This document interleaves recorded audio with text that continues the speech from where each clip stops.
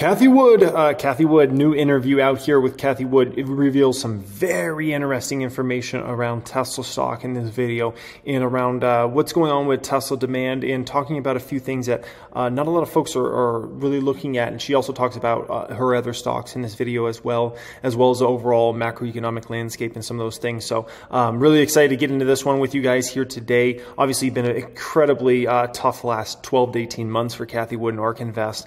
ARK is down uh, over 62% year to date, and uh, it had started falling before that. So it's been a really, really brutal, let's just call it last 12 to 18 months for ARK and for Cathie Wood. So I, I respect that she didn't go uh, into a cave and hide this entire year, and she's still out there um, giving her opinion and those sorts of things. Um, it just hasn't been her type of market, but um, do not uh, underestimate the return of Cathie Wood. Okay, as soon as we get back into a bull market, um, and there's a debate if that comes in this at the end of this year or in 2023 or in 2024. Um, you know, Cathie Wood will thrive again, and many of her stocks, not all of them, but many of them will thrive again, and they will soar, and she will uh, once again be uh, kind of put on a pedestal. So do, do keep that in mind. She's just been uh, really kicked really kicked a lot uh, down over the past 12 to 18 months. So yeah, hope you guys enjoy this. As always, let me know any of your opinion on anything discussed in today's video and any of my reaction here. Also, if you want to get my free stock picking checklist sent to your email,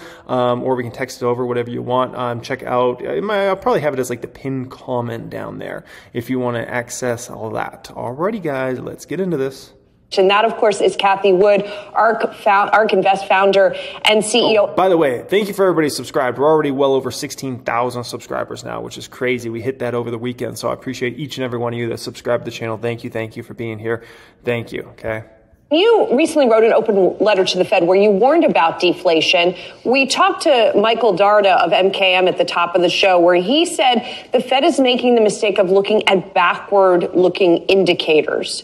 What should the Fed be looking at, Cathie, when it's trying to really assess what is happening with inflation? That's true. They looked at way too many backwards looking indicators last year, and now they're looking at way too many backwards looking indicators now. Uh, but that's the Fed, um, you know, and you, you can either have them try to predict the future or look at backwards looking data, right? And so both are not ideal because if they try to predict the future, they could easily be wrong, right? If they just look at backwards data, then they're really not caught up on what might be the reality of today, right? So uh, it's either one's not perfect. Sure. Hi, Julie and Brian. Uh, well, if you look at what's happening in the pipeline, uh, what you're seeing in terms of commodity prices are some very serious uh, declines both from their peaks and year over year now. Sure. So that uh, is sort of, we would say that's upstream inflation uh, that is heading towards the PPI and then ultimately the CPI. So uh, we've got uh, gold prices. And in fact, I looked at them yesterday. I had thought that the last two years, gold had been trading within the uh, seventeen hundred to nearly twenty one hundred dollar range, and that's true. It has, and it has broken down. This is a really good leading indicator of inflation. What caught my surprise yesterday was looking at where gold was in 2011. It was roughly this level. So you can say for, since 2011, more than 10 years, we haven't had a big burst, in, a big breakout in the gold price. Uh, and, and that is informing our decision here. Gold is a leading indicator of inflation and it has not broken out. It is breaking down. And then the second thing that we're looking at is the uh, inventory glut around the world, uh, and especially in the United States. It looks like some of the best supply chain managed companies in the world uh, have over over ordered. They ignored their automated uh, enterprise resource planning systems, so ERP systems, and double ordered, triple ordered, so that Nike, for example, its sales were up only three and a half percent globally uh, last quarter, and yet its inventories were up 44%. Uh, and in the United States, they were up 68%. And if you look at in transit, they're up 85%. So uh, that's just one indication. We're seeing lots of inventory overhangs. And Something to keep in mind, this is very important, is a lot of these companies had were way under inventory where they're at at this time last year. So they might be comping against numbers that they're didn't have nearly the inventory they should have had in a normal environment, right? So now they maybe get in a normal inventory environment and now their inventories look like they're, they're flying high, right? In regards to Nike, I think, you know, they've tried to get a little greedy. Uh, in regards to Nike over the past several years, in, including, you know, some uh, like for instance, Footlocker, right, which is a stock I own in my dividend only account. Uh, Footlocker is a company that has done tremendous helping Nike grow over the years, right? And giving them great placement in their stores and, and just, you know, phenomenal branding and all those sorts of things. And Nike tried to get a little greedy and try to go more in house with selling and those sorts of things. And I think it's coming back to bite them a little bit. And I think they're going to have to relook at that and say, are we're really making the right decision because some of these suppliers, like a Footlocker, for example, have done a tremendous job growing our business, selling product, moving product, and if we're not as relevant in those, right, uh, maybe we become a little less relevant. And for Nike, their whole business is relevancy. Their whole business is brand and relevancy. And so, you know, with the Footlocker thing, I just thought they got greedy. That was a, not a smart decision on their part. Footlocker helps them get more relevancy and even even a stronger brand because of how well they market in their stores. And uh, Nike just looked at that as well. Footlocker, we have to sell it for less money. We can make more margin if we sell it on our Nike website or something like that, right? or in an actual Nike store. And it's like Nike stores aren't a lot of places. There's very few Nike stores out there, you know, compared to obviously like a Footlocker store or something like that, right? And not everybody wants to shop and, and buy a new pair of Nikes or Nike clothing or whatever on their website. So they just missed a tremendous, uh, you know, I think they just got greedy, man. Just got pure greed. And I think they're going to reevaluate things this coming year and realize, uh, you know, we need to uh, go a little bit back to our old ways because uh, this whole, well, let's try to maximize every amount of margin possible could actually end up to lower results for our overall business, which obviously shareholders don't like, which is why Nike going into look at the year to date, you know, Nike down almost 50%. That's almost unheard of. Like Nike, come on, man. That's not one of those type of companies that you should see down 50%. That's insane. This isn't some, you know, whatever company. That's crazy. And even online sales are suffering. Uh, Amazon just had its uh, second Prime Day, and it showed no increase, uh, which is really from a year year over year, which is uh, telling us that either units are down or prices are down. Was horrible branding by Amazon. I didn't even know they had some Prime Day sale, extra sale going on thing. You know, like that was just Amazon missed the ball on that, or maybe they didn't want to market it hard, so they could just see like what organic uh, volumes would be or something like that. So I don't know. Uh, so I think the CPI that we got today is a lagging indicator. It always is a lagging indicator. And we're seeing a lot of prices in the pipeline that are falling. So, Cathie, let's talk about what this means for the Fed in your open letter to the Fed, where you urge them to consider some of what you're talking about right now. Um, the market, after today's data, is now more fully pricing in not just a 75 basis point increase at this upcoming meeting, but at the one after that as well. Do you think the Fed should be done? Do you think they should even raise 75 basis points at this upcoming meeting? Or do you think they should stop here and give some time for their increases to make their way through the economy? Yes, as we're thinking about this question, we compare what Chairman Fa- uh, Powell is doing to what Chairman Volcker did in the late 70s, early 80s, when he was fighting an inflation problem that had been building for 15 years. Vietnam War, Great Society, closing the gold window. That was a real inflation problem uh, that built up over 15 years. This inflation problem has been 12 to 15 months uh, by the time the Fed started addressing it. And we think it's much more a function of supply chain imbalances caused by COVID and then again by Russia's invasion of Ukraine. These are very, very different circumstances. So what the Fed has done this time around is. He's 100% right. You know, if the whole Russia situation never happened, uh, to be quite frank, uh, we wouldn't have felt this sort of level of inflation. Inflation was already an issue, but what what happened with Russia caused things to go so out of control, and you can see it. You know, right after the invasion, I mean, commodity prices went ridiculous. Um, you know, for especially anything energy related. You know, it was it was out of control. So and um, yeah, that's just yeah. I mean, you look at you know the invasion happened and boom, you know commodities went absolutely insane, and obviously that caused everything to get more expensive. You know, if you want to transport any product around, if fuel prices are much more expensive, you know, it raises inflation. That's just what happens. It has increased uh, interest rates. If they go another 75 basis points, which is very likely on November 2nd, they will have increased interest rates from 0.25 uh, to 4%. And that's a 16 fold increase. What did Volcker in the early 80s? He took interest rates from 10 to 20%. That's a twofold increase after after consumers and businesses had gotten used to dealing with inflation and working around it over 15 years.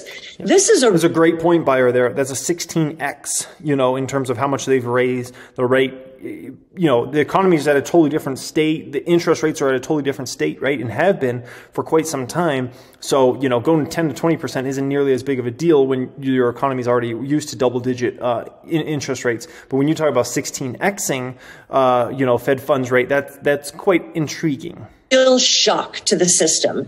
And I do believe we will see the ramifications in many ways. We're seeing housing shutting down.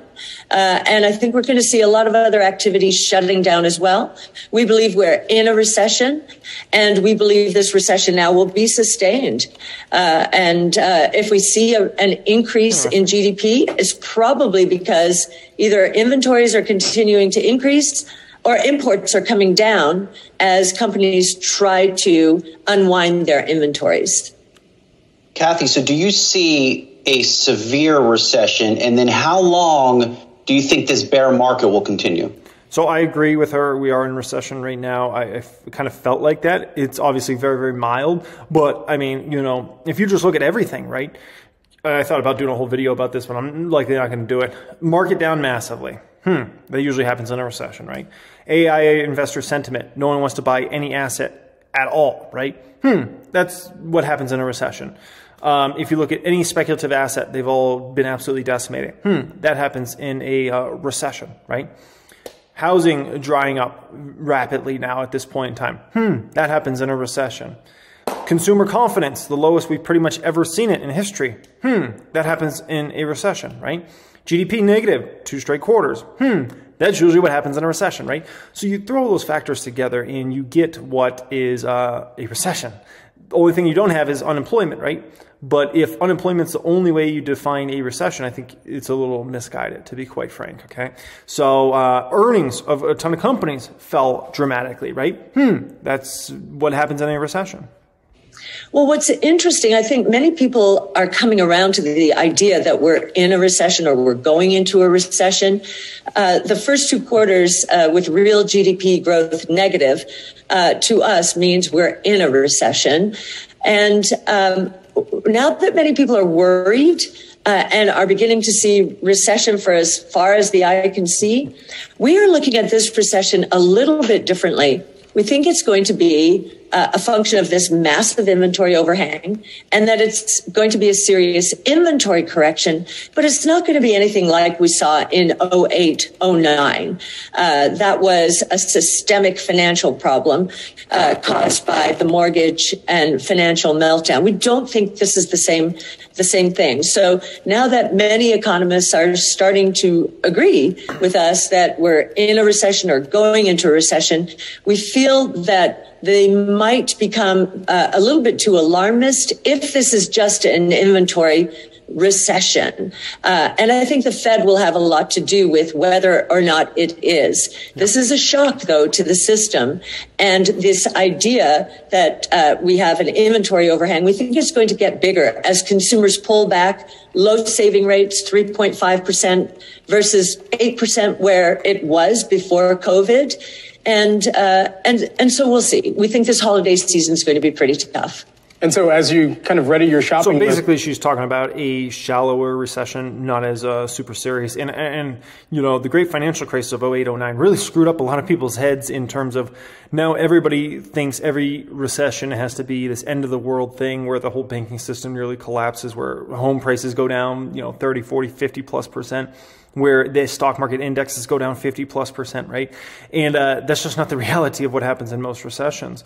And uh, but because that happened in the last major recession, right, which a lot of people look at 2020 and they don't count that as a recession, even though that technically was a recession, they don't count that as one, right? Even though unemployment went to pretty much the highest numbers we've seen since the Great Depression. People don't count that one. So they look back, they say, 08, 09 was this, so this has to be that. And it just doesn't have to be that at all. That's not the way uh, the financial markets work. That's not the way this whole thing works. Um, you know, you could get a more long drawn out, not as serious situation to happen there, right? And, um, you know, I just think that's very important to, to remember in regards to that for that holiday season, Cathie. when you think about some of the kind of ways that equity valuations are starting to price in that recession to the best of their ability, is there a big buy that you now kind of think through or evaluate going into the uh, the end of the year here? Well, you have to consider the source here, uh, and. Uh, uh our focus, our sole focus, is on disruptive innovation and we also believe that innovation solves problems. Uh, we had a tough time going into COVID with our kind of strategy. And then we had a boom in our strategy during COVID because guess what? Uh, we needed the genomic revolution uh, to help sequence the coronavirus and figure out tests and vaccines. And our kinds of companies helped with that. Uh, we think with supply chain issues, and with the food and energy prices caused by this shock, this Russia's invasion of Ukraine, that once again, innovation is going to help solve these problems. Electric vehicles, there's an accelerated consumer preference shift towards electric vehicles, like Tesla, uh, because of oil prices. And we think there's no stopping that trend now. And in terms of food prices, uh, we do believe that before I get to food prices, I mean, she brings up a great point for Tesla that I think is underappreciated in this market, right? I mean, I was seeing things about gas prices in some markets, um, you know, still, I think in California, like $6. I think I saw a sign that said $7 in California. I was like, wait, is that real? I'm going to have to fact check that because I was like, what, seven? This is like hard to even fathom, right? So everybody's gotten used to paying these, you know, very ridiculous gas prices, right? And you know, even here in Vegas, like, you know, uh, even though I don't drive, uh, obviously, gas cars, right? I got the S and I got the X, and those are electrics, but I still, like, see the signs, and, like, a lot of the signs are still, like, five bucks a gallon or high fours. And I'm like, how's that even possible with the, the fact that oil's come down so much? But nonetheless, when, when consumers are seeing this, Believe me, people are thinking, hmm, the next vehicle might be an EV because I'm getting sick of spending several hundred dollars a month on just fuel prices, right? I mean, everybody's pretty much paying anywhere between 50% and up to 125%, depending upon what state you live in, more expensive prices than you were paying a year ago, right? And especially for the, and this has lasted for like six plus months now at this point in time. So everybody's going to consider an EV for their next vehicle. I can promise you that, um, especially when they go to buy a new vehicle. And if you're considering EV, it starts with Tesla and it ends with Tesla. And then everything else is in between, right? And so that's obviously a very bullish thing for Tesla that uh, kind of supercharges likely growth over 2023, 2024, and 2025 that wasn't planned, right? I mean, even a lot of us Tesla bulls, I, I never planned like oil prices were going to go insane and gas prices are going to go insane. Uh, so this is just kind of like an extra bullish uh, thing for Tesla now at this point in time.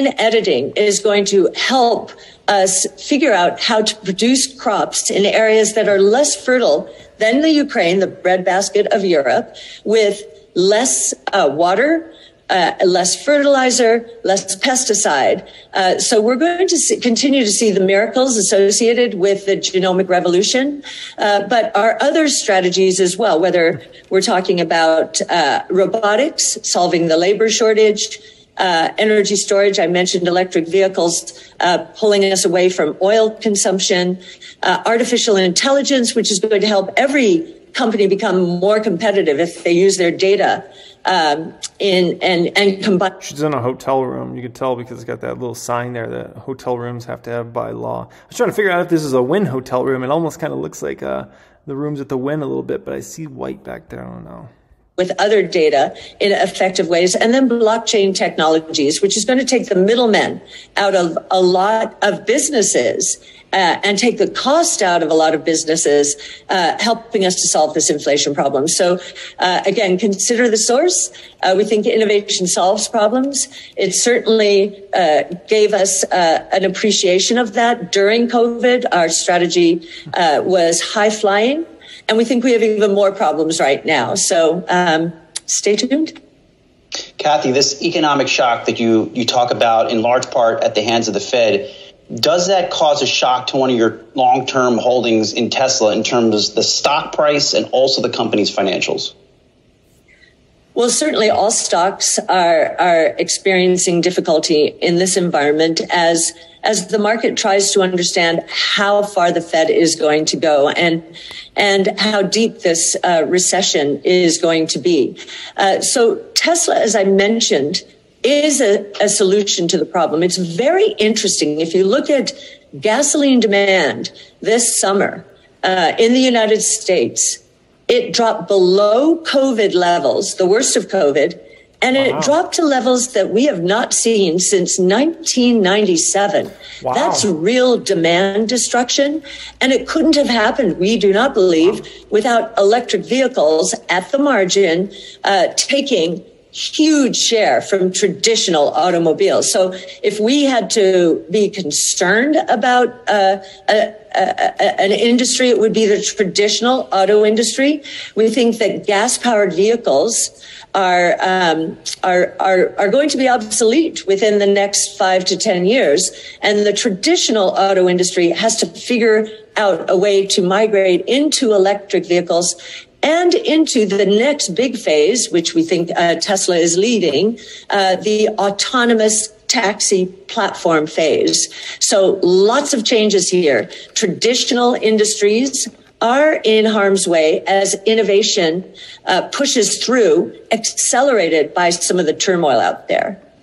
Yeah, I like that. You know, and I uh, I used to talk about this. You know, when obviously I was buying Tesla stock back in like 2018, 2019. I used to talk about like, imagine the year 2028 or the year 2030 or whatever, uh, going to a, uh, car dealership and being like, I want to buy a new internal combustion vehicle, right? Uh, it just doesn't even seem like a plausible thing, you know, in my mind, at least back then, and still this day, I think it's a lot more realistic. Uh, I think a lot of people thought I was crazy back then for saying things like that. I think a lot of people are kind of like starting to get it now and like, yeah, you know, used used uh, ICE vehicles will still be obviously bought and sold, you know, uh, five, ten years in the future. But five, ten years in the future, are people still going to buy new internal combustion engine vehicles?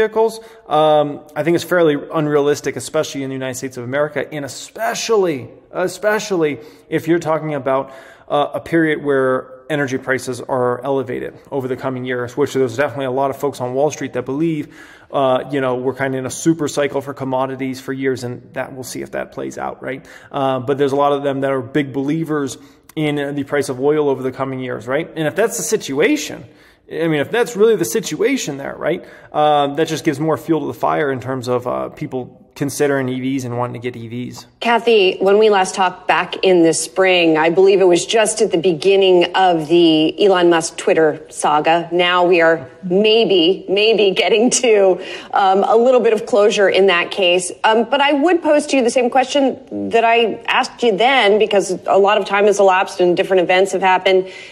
Are you at all concerned about Musk's attention wavering now that it looks like he is, in fact, going to be taking over and likely at least having a pretty heavy hand in running Twitter? Well, um, we are prolific users of Twitter. ARK uh, gives away its research. We give away our research not when it's finished, but as it's evolving. And our most prolific platform, social platform out there, is Twitter.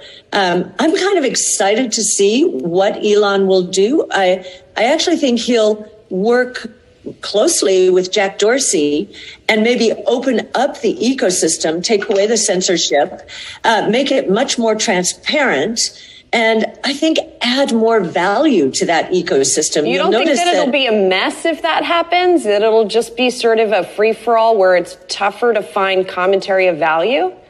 You know what's interesting about Twitter, and we found this. Uh, we we have a lot of debate around ARK's own strategies.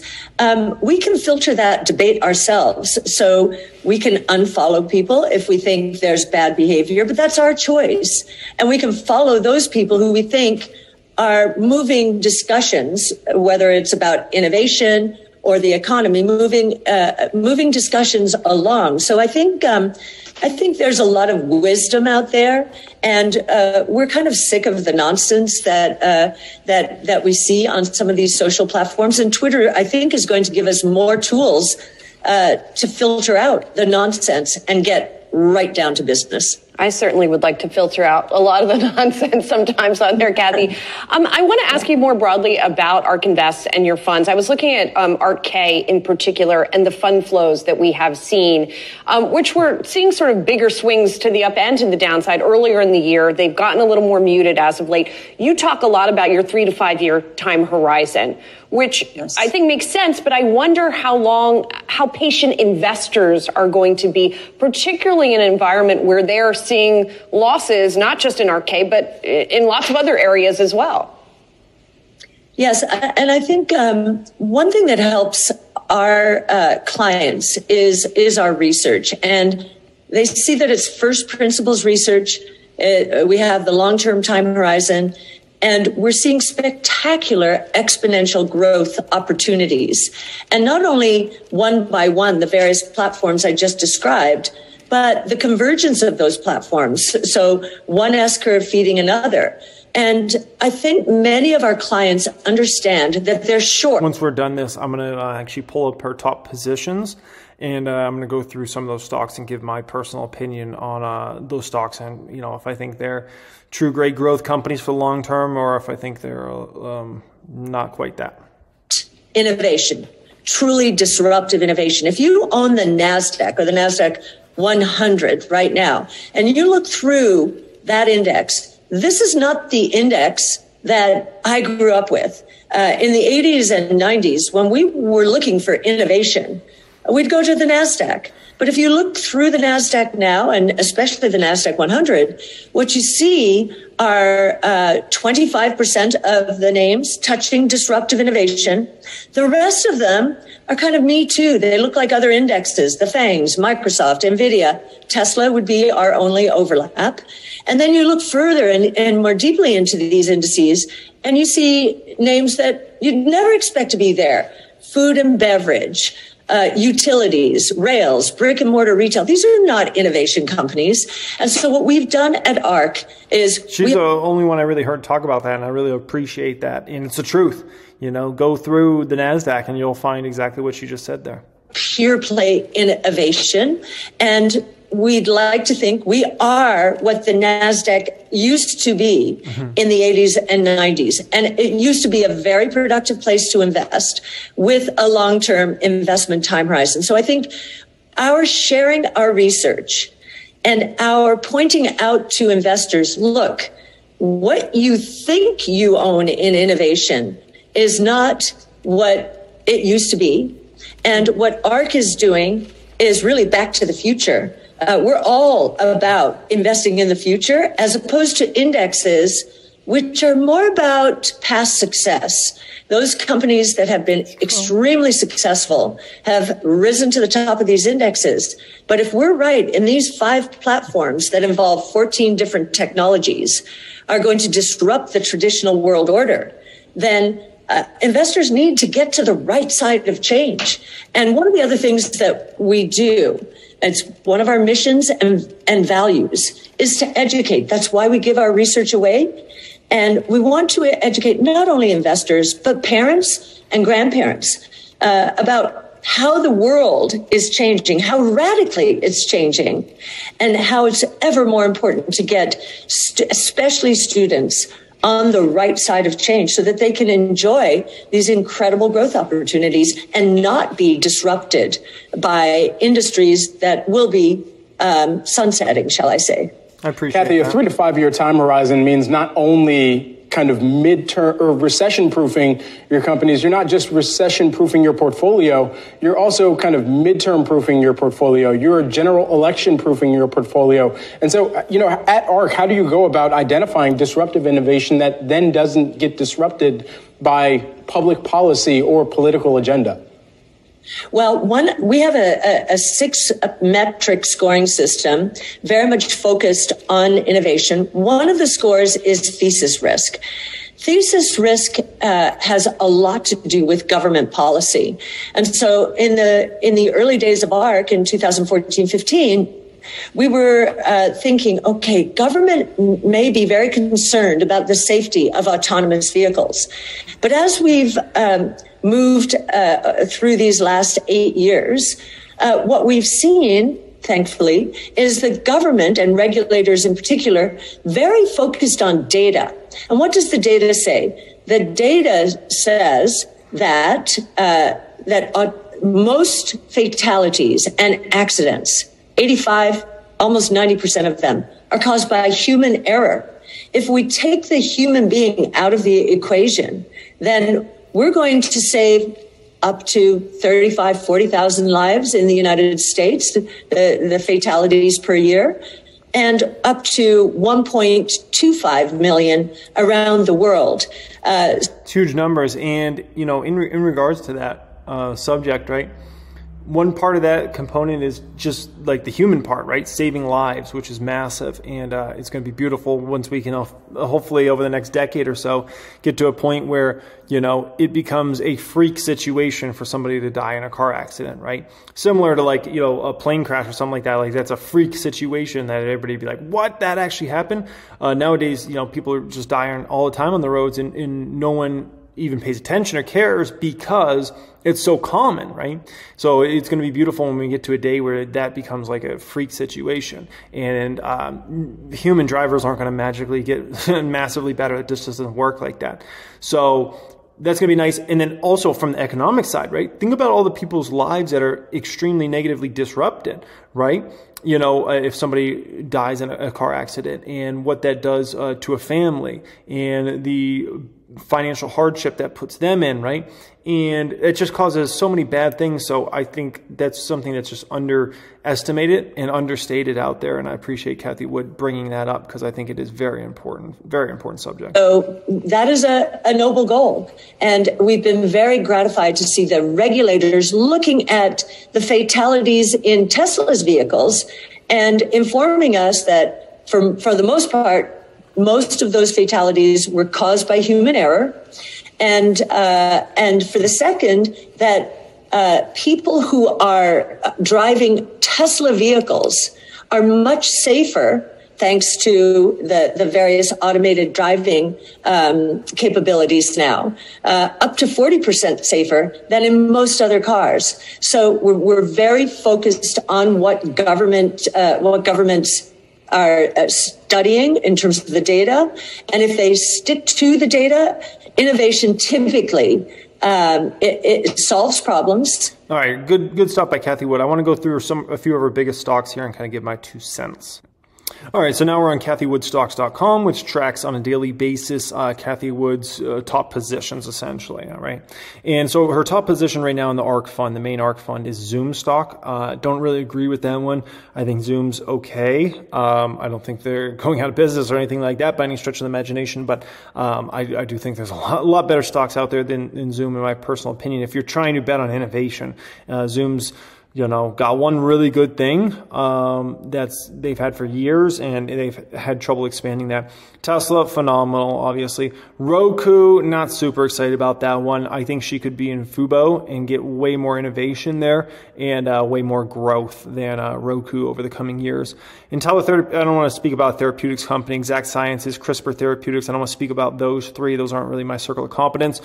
Coinbase, uh, I, I, agree with Coinbase. Uh, obviously, innovative company. Continue. I think of fintech, it's one of the most innovative companies you can find out there. So I like Coinbase. Uh, I don't want to, uh, to comment on Path there. Square, definitely. I like that one. I don't personally own it, but I like it. Cash App uh, almost always the number one most popular finance app in the uh, United States of America, usually followed by Venmo and PayPal. So I like that one. Beam Therapeutics, don't really want to speak on that one. Shopify, I think she should make Shopify a much bigger position. I think she should be adding Shopify aggressively. Um, basically over the, the coming months, honestly, I think, I think there's a few other stocks out there that I could see her adding.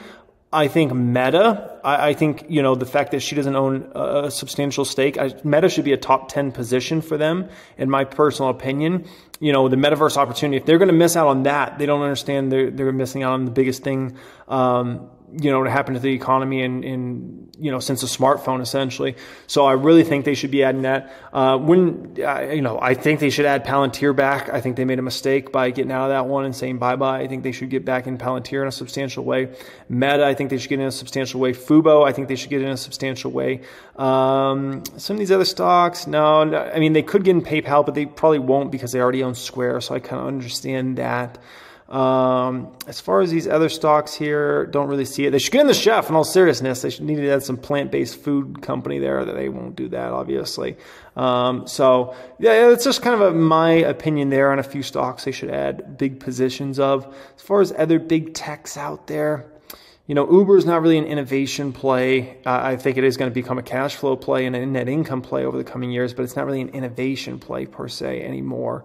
Um, they've just completely kind of changed their trajectory there. Adobe I think could be interesting for them. And I honestly do think they should probably build out a big position in AMD, in my personal opinion, over the next, uh, let's, and I, am pretty sure they already own NVIDIA, but I think they should build a substantial position in an AMD over the next uh, six to 12 months, to be honest. Yeah, they have AMD as their 23rd biggest position. Uh, but AMD, with them owning Xilinx now too, I think they should build that into a big position. And uh, so that's just my personal opinion. I don't run the money for ARK. Uh, but Cathie, if you're watching this and you need somebody to run the money when you're ready to step down, okay, I got you. Okay, I got you. Anyways, guys, I appreciate you joining me as always. Much love. Thanks for everybody for being here. 16,000 plus subscribers now at this point in time. If you want my free stock picking checklist, check out the pinned comment down there. Thank you for watching and have a great day.